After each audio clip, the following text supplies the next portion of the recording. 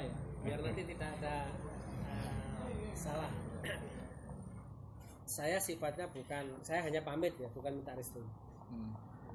mohon maaf saya pamit bukan minta restu. Kalau minta restu kan harus menunggu direstui atau tidak. Karena itu hemat saya saya berangkat di sini adalah atas nama pribadi bukan atas nama institusi. NU itu lembaga besar ketika saya tarik tarik ke dalam satu eh, persoalan yang hemat saya itu itu tidak besar ini ya. Persoalan bangsa kita yang diurusi oleh itu besar. Ketika saya tarik tarik di sini itu ya kasihan kepada lembaga NU Muhammadiyah atau organisasi apa pun.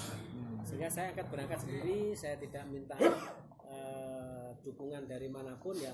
Masyarakat nanti akan melihat ya. Harapan kami masyarakat yang sudah cerdas.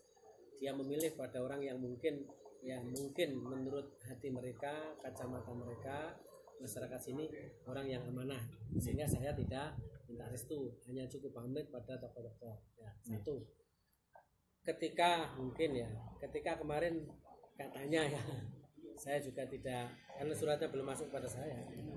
Alasannya kan pakai ini mohon maaf sekali lagi saya sudah SMS pada Yai pada Gus Is ya pada tokoh-tokoh dan itu kami tidak NU nya ya. Gus Is saya saya simbol bukan bukan NU nya kalau ke NU kan harus harus berkirim surat saya dan itu pun tidak saya lakukan berkirim surat. Karena apa? Saya sini belum calon loh ya.